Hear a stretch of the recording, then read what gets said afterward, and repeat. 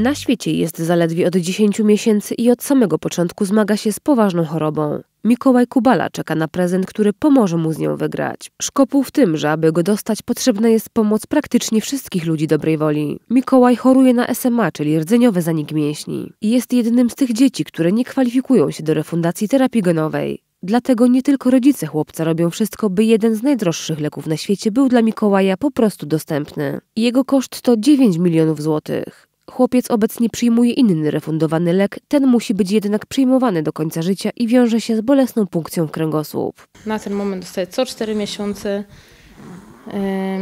No ale wiadomo, walczymy o to, żeby jednak podać Mikołajowi terapię. To jest jedna dawka na całe życie. Po wizycie w Warszawie większość rodziców e, było rozczarowanych, ponieważ nikt z ministerstwa do nas nie wyszedł. E, No nie odpowiedziano na żadne z pytań.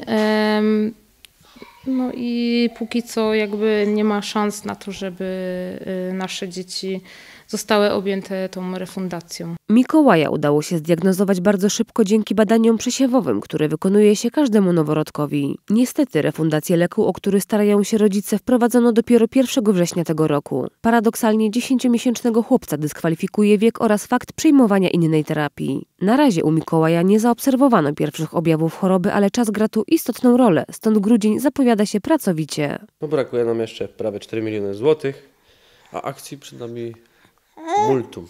Najbliższa akcja to będzie e, w Wodzisławskim Parku Trzy Wzgórza. Odbędzie się kiermasz świąteczny, jarmark świąteczny, na którym cały dochód będzie przeznaczony dla Mikołaja. Będą choinki, będą rybki, będą różne ozdoby świąteczne, przetwory. Będzie wszystko. Naprawdę taki prawdziwy jarmark z prawdziwego zdarzenia.